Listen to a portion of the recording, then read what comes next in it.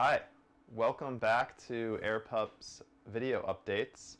Um, I have behind me the AirPup prototype, which is too big to fit in the shot this way, but if I bounce uh, camera off the mirror, you can see AirPup this way.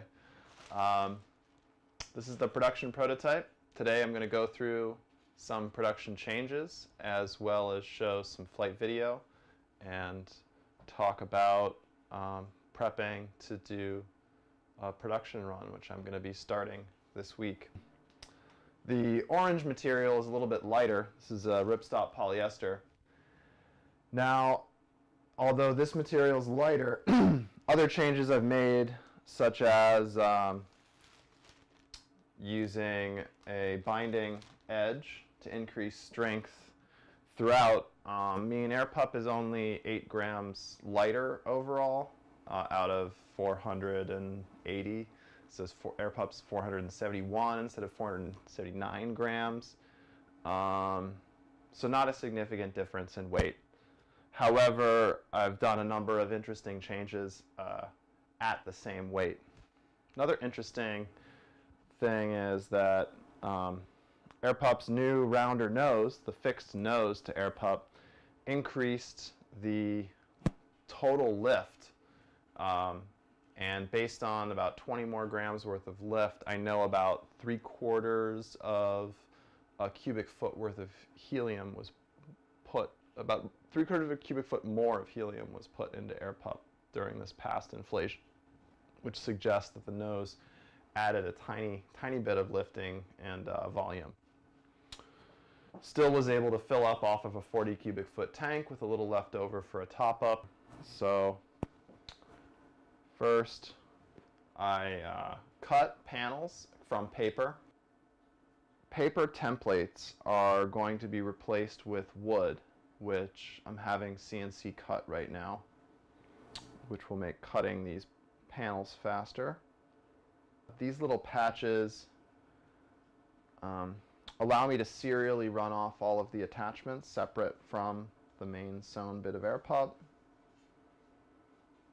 And then I created a whole bunch of these little glue masks for glue application, which um, led to a lot cleaner attachments. And um, I also created these little slip entry patches for the belly rail mounts, which go in like that. And um, all this came together really well, and I've found that AirPup is a steadier flyer than the last prototype, and I have been able to use a more central mounting point for payloads without any instability, which is what I'd originally predicted would happen with a scaled up AirPup, but with my first prototype was a little harder. Um, that indicates that I'm achieving a lot more symmetry and um, a lot more stability in my construction. So I'm pretty happy with all that, and uh, let's let's roll some video. So here's AirPup in flight. This is in pretty gusty conditions. This right here is uh, without a payload mounted, and um, it was pretty hard to fly the week before last. This is from the weekend before last um, because of those high winds um, that were lighting California on fire. Sorry to everyone in California affected by that. Um, my issues flying AirPup were small compared to yours. Um, but the yeah, AirPup uh, uh, was performing really well, and so this is flying without a payload, and then without having to adjust the um, the bridle position, I was able to mount a payload, which that flight should start in just a second.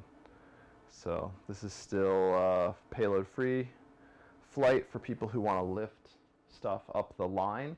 I know a lot of people want an antenna with clearance or weather instruments with clearance. So here we go. Here's uh, here's AirPup flying with uh, payload. It's a 620 gram payload, which is about, uh, as I said, about 20 grams more than I was able to fit on the previous AirPup. So as you can see, things are quite gusty. Uh, I was uh, on the downwind side of a mountain. Um, I was expecting wind to blow up the mountain.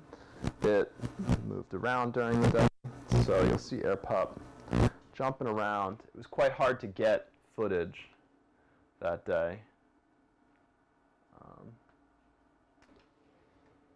that was AirPup in flight. Uh, flight tests were successful. Bridling was successful. Payload mounting was successful. Um, and yeah, I'm excited that I'll have my wood panels for fabric cutting out soon. I'm going to start on some of the patches and um, yeah, I think the stitching's great. And then here, let's just show you real quick this belly mount. So there are these four tabs on AirPup's belly. And if you need to put a payload in the belly, you can insert this mount. Um, so slide it in and kind of weave it forward.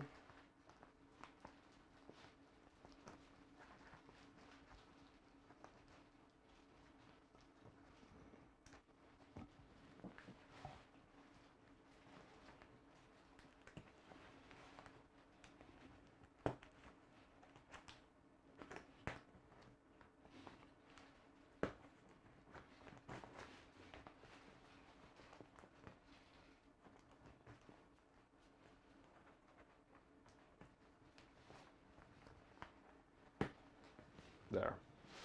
Now I have this secure mount and I can, it's nice and aligned right in the middle. And I can slide this mounting point forward or back and mount uh, whatever I need on a quarter 20 mount with a safety line. Um, and this is nice and secure. It, it, it resists torsion and will hold something really steadily in place. Um, yeah, so that's the payload system. And uh, yeah, excited to make these air pups and share them with you. I'm going to do a run. I'm going to do one more uh, after this production prototype. I'm going to do one more, uh, then I'm going to do two. And then after those two small runs, I think I'll be ready to do um, five to 10 at a time. So yeah, that's the latest update, and uh, thanks for watching.